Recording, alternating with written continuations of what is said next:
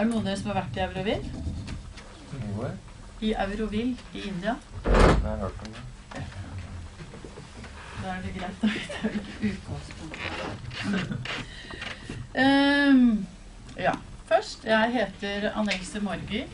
Jeg er uh, utdannet barnevernspedagog. Hadde jobbet 25 år i barnevernet. Uh, flyttet til Bergen og jeg jobbet i fylkeskommunen der. Og for eh, 14 år siden så var jeg med på en nødlanding med fly som gjorde at jeg fikk et møte med døden. Så. Og det gjorde noe med meg. Sånn at uh, livet fikk en helt annen vending. Og jeg begynte å skjønne at det var mer mellom himmel og jord enn jeg hadde vært villig til å erkjenne før det. Og da begynte jeg på en, ja, en spirituell vei. Da skjønte jeg at det ikke var bare kropp og sinn, men at vi også har en sjel. Og den veien har jeg da fortsatt på. Så etter disse årene i barnevernet så fikk jeg masse sykdommer. Og jeg gikk fra det ene uhellet etter det andre. Jeg satt, eh, brakk, nei, brøk lårhalsen eh, på venstre ben. Jeg ble operert. Jeg eh, gikk på krykker, falt på krykkene, brakk høyre arm. Satt i rullestol i halvannen måned. Og jeg som da har vært veldig aktiv, var veldig sunt. Da kunne jeg sitte og se utover Fanafjorden og lese en bok som heter Eckhart Tolle om nuets kraft. Og da begynte jeg liksom å se mer ja, innover på meg og begynte å tenke hva er det jeg skal bruke livet mitt til, og hva skal jeg bli når jeg blir stor. Så hørte jeg om en i Bergen som hadde begynt uh, i Danmark på kunstterapiutdannelse. Det syns jeg hørtes veldig spennende ut. Så jeg bestemte meg for det. Og ja, innimellom flytting fra ut av et samboerforhold, kjøpe et hus. Jeg kjøpte et hus og en hund og tok en ny utdannelse liksom i løpet av et jafs. Og jeg var syk da jeg flyttet inn det. Så det var sånn, Og jeg var 50 år, for å si det sånn. Så for meg så er liksom ikke alder noen, noen stengsel. Jeg blir 64, og jeg har tenkt å holde på til jeg stuper. Sånn er min innstilling. Alder er ingen hindring, for å si det sånn.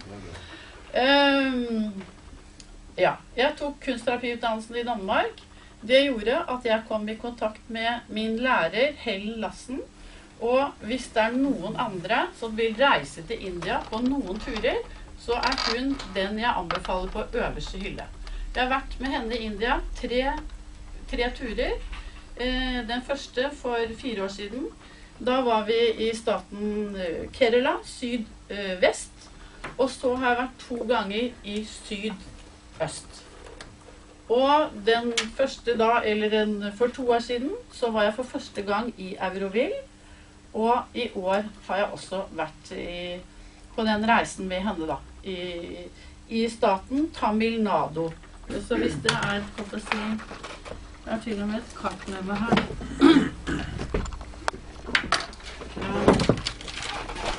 Jeg kan sende det rundt.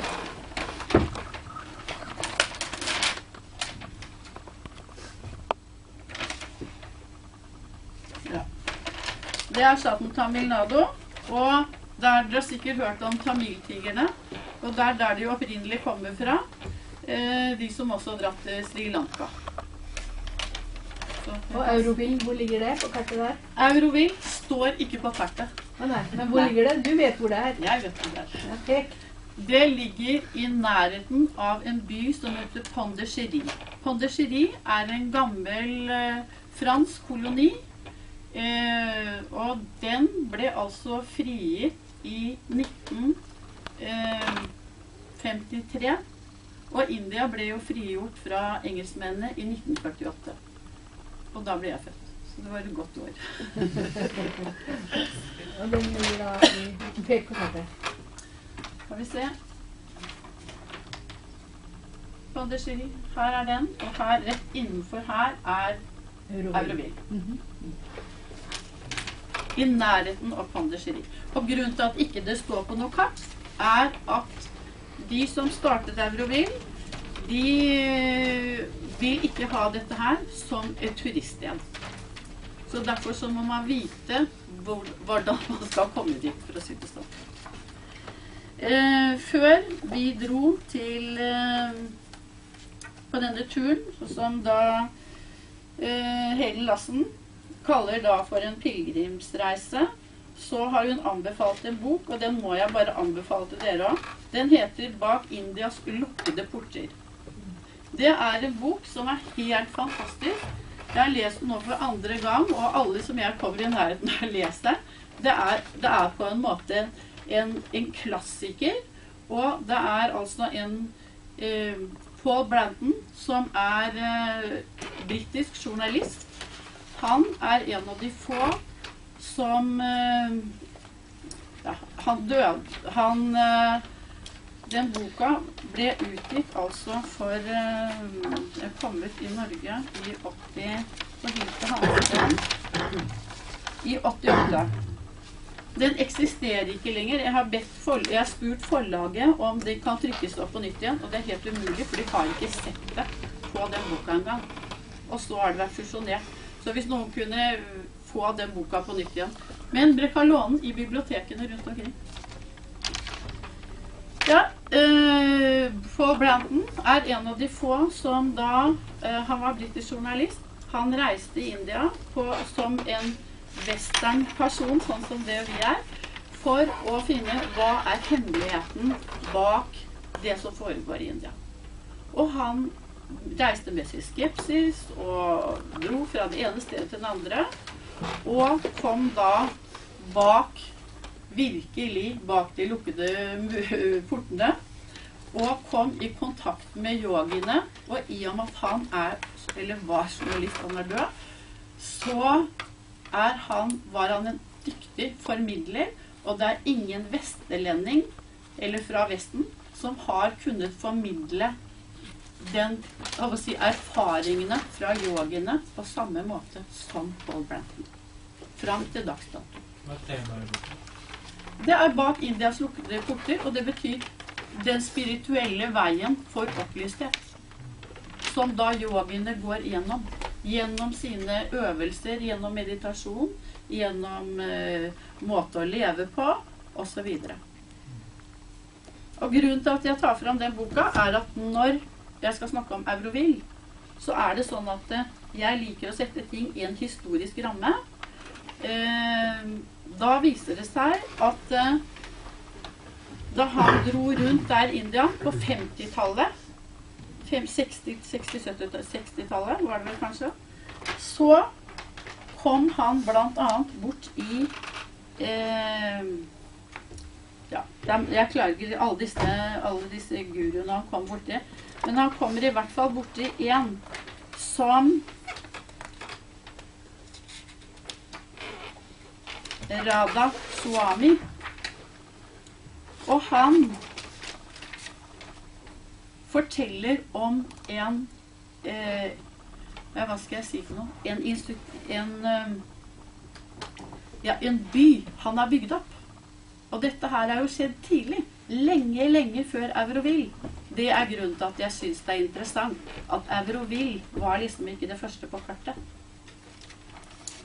Eh, og han sier at dere har sett to sider av vår virksomhet her i Dayalabag.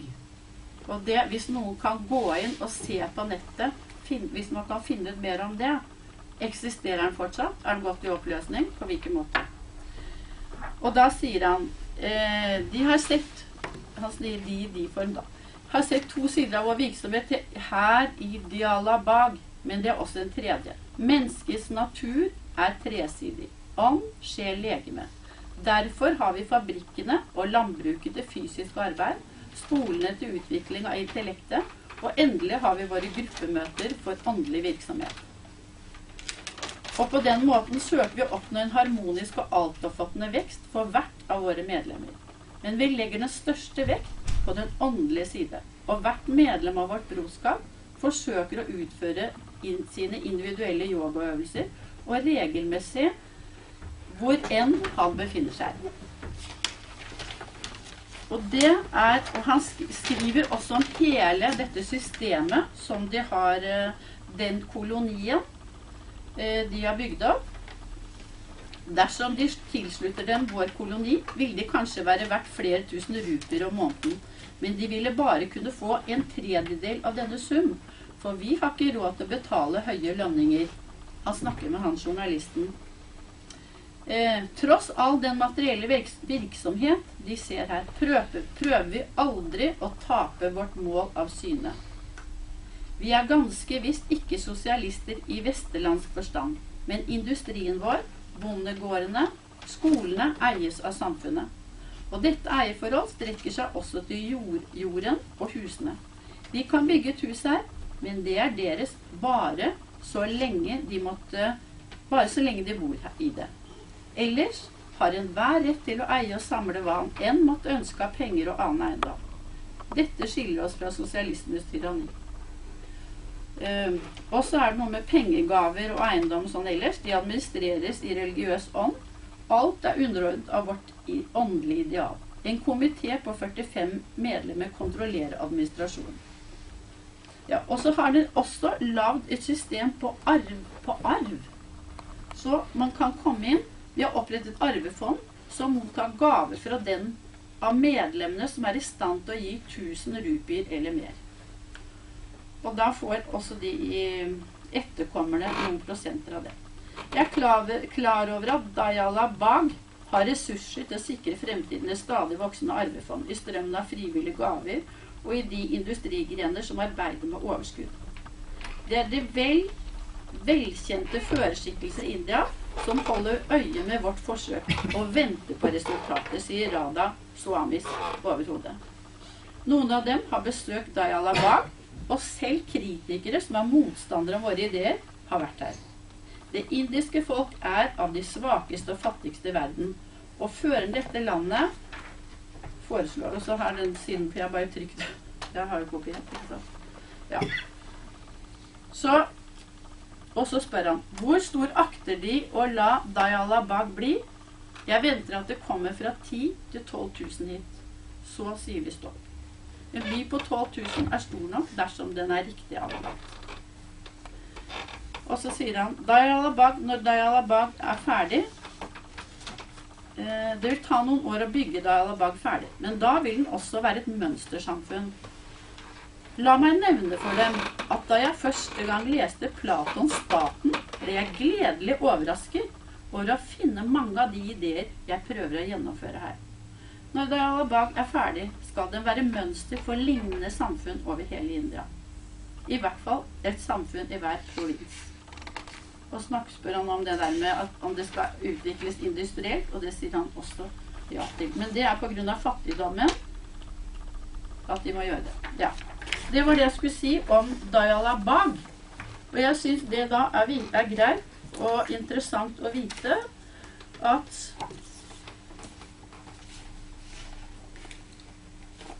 når da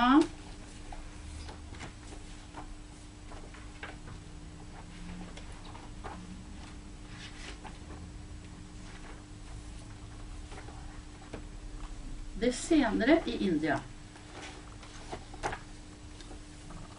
så eh, var det altså Skal vi se, hva var det jeg skulle ha Else? Um, jo. Så ble det altså Det sender jeg rundt. I 15. august 1872 i Calcutta så ble Sri Aurobindo født. Og i Paris ble Mira Alfassa den 21. februar 1878 ble født. Her var de som barn, og jeg kan sende det ut. Um, og det var i 1910 som Sri Aurobindo Dette her er grunnleggerne av, uh, av Aurovil. Han, Aurobindo, han kom fra det høyeste sjikt i India. Jeg tror han var utdanna jurist. I hvert fall så var han utdannet i England fra han var syv år gammel, og gikk også på Cambridge University. Og det var da han var 20 år gammel han kom tilbake til India. Så i 1910 var det han kom til Pondicherry. Eh, og i 1914 var det altså The Mother, som hun ble kalt, også kom til Pondicherry. Så da skal jeg vise dere et bilde her.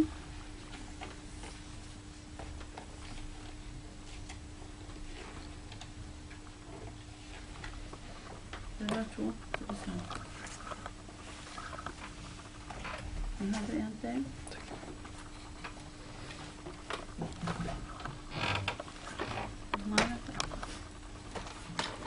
Eh, jeg skulle vise dere det fine treet, hvis jeg finner det. da. Her var det. Dette her er fra det første i Euroville. Der er det et banyantre. Som er et veldig spesielt tre. De har sånn Ja, akkurat som de der masse Jeg vet ikke om dere kjenner til det, men eh, jeg hadde ikke sett det før. i hvert fall. Som gror inn i hverandre. I dette banjatreet på dette stedet, under det, lå det en indisk dame som hadde bodd der i flere år. Og de kom og ville uh, sage ned det treet. Og da sa hun hver gang noen skulle sage ned det treet Nei, nei, nei, må ikke sage ned det. Nei, må ikke sage det. Her kommer det til å skje store ting i fremtiden. Og det fikk hun jo helt rett i. Så hun beskytta det treet. Dette treet var det første de bygde opp Euroville rundt. Og de startet altså å bygge opp Euroville i 1968. Og det var jo, hvis du ser liksom den historiske i, i Europa med, med hva si, studentopprøret og ja, og frihetsønskene som kom blant ungdom og studenter osv., så, så var det den samme bølgen som startet da. Men da la jo de tydeligvis noen planer.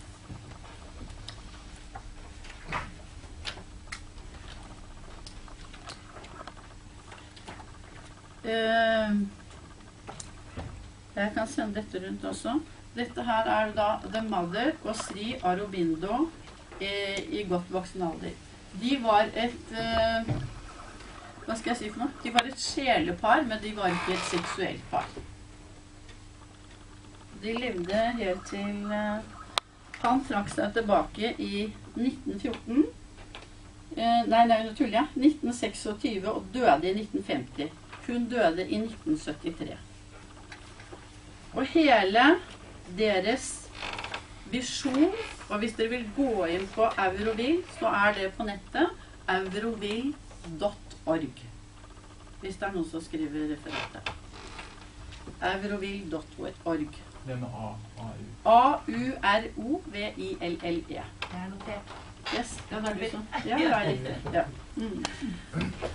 Og The Mother, som kom fra Paris, og, Eurobindo fra India. De møttes i India.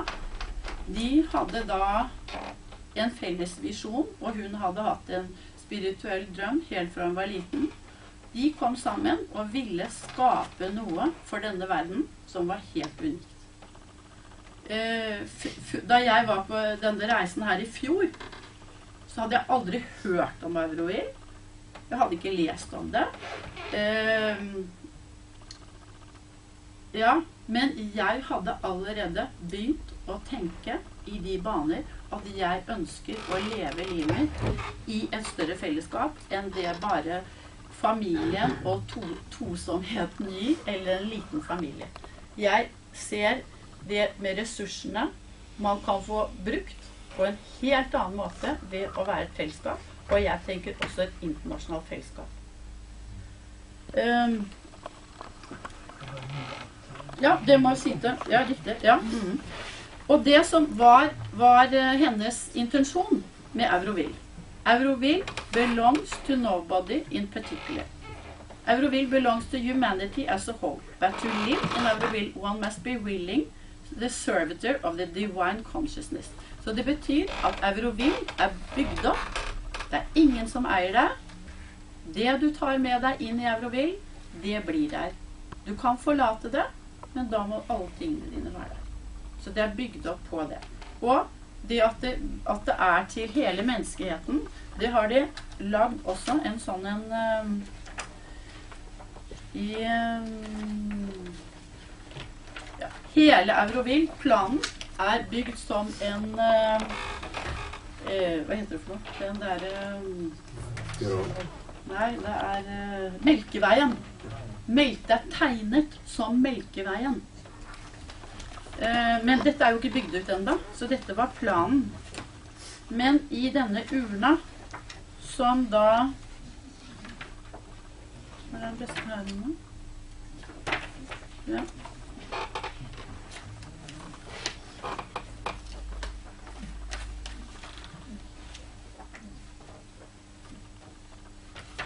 Du har en som er bedre der, vet du. Da skal jeg stresse litt her.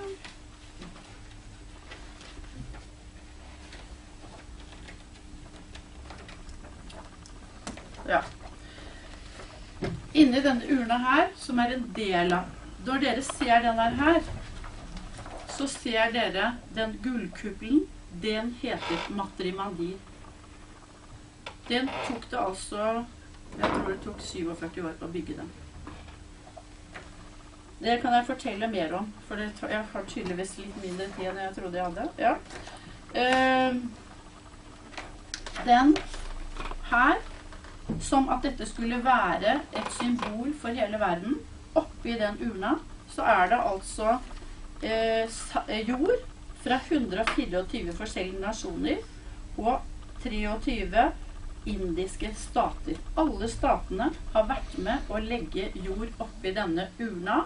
Den er formet som en lotusblomst, men den er lukket. Fordi at si, den spirituelle delen av, av verden er lukket per i, dag. Så den skal liksom åpnes etter hvert. Eh, de sier at matrimandir, Matrimandi, det er det spirituelle senteret. Og det er det i, i Euroville. Og de sier at det, det er der si, Det er sjelen i Euroville. Per i dag så er det 2000 som bor der. Det er ikke Det er kanskje designa for eh, 20 000. Det er eh, ca. 40 prosent indere, ca. 40 eh, franskmenn. Eh, 40, hvor langt kom vi nå? Eh, og så er det resten. Det er noe tyskere, dansker Det er eh, fem dansker, det er én nordmann, ingen svensker, og så resten fordelt med andre. Så det er et internasjonalt samfunn. Og de har egen skole. og Jeg kan jo egentlig ha en hel dag om hvordan de driver skole her. Den, det er mitt hjerte veldig nært. Um, Kan jeg spørre om en ting? ja. Er det sånn at du vil starte et sånt lignende senter i Norge, eller er det mer sånn at du, du eh, på en måte er kontaktperson? Eller, Til Euroville? Ja, eller, Nei, nei, nei. Ikke noe med Euroville. Jeg har vært der nå inne to ganger, og jeg har vært inne i Matrimandi her og sittet og meditert.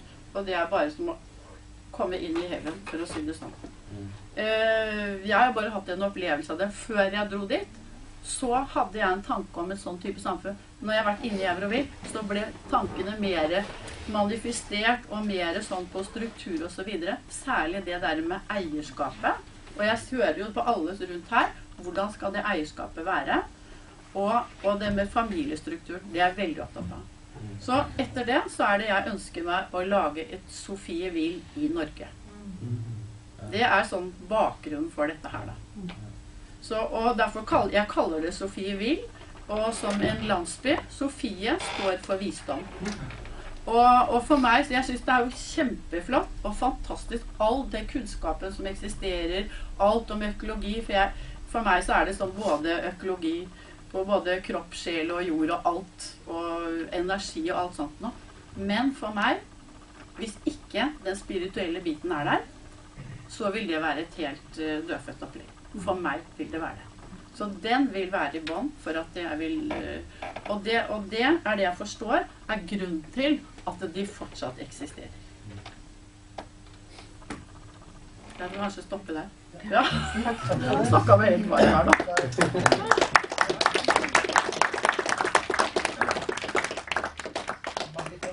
bare tilføye et par setninger. Euroville var en av de ni øhm, økolandsbyene i verden som startet Global Ecovillage Network omkring 20 år siden. Og de har nå etablert en eh, bachelorutdannelse hvor man kan eh, få en, eh, altså universitetsutdannelse i ecological design. Og da kan du tilbringe ett semester i Eurobil for å lære hvordan deres økolandsby fungerer i designverden. Og de andre åtte semester er da andre økolandsbyer. Så de har etablert seg ikke bare som en økolandsby, men også som et pedagogisk tilbud på universitetsnivå. Det er jo veldig eh, Så Sofieville har eh, gode hva heter det for noe, eh, inspirasjoner. Hva heter det? Takk for det. Mhm. Ok. Da eh, tiden går, uansett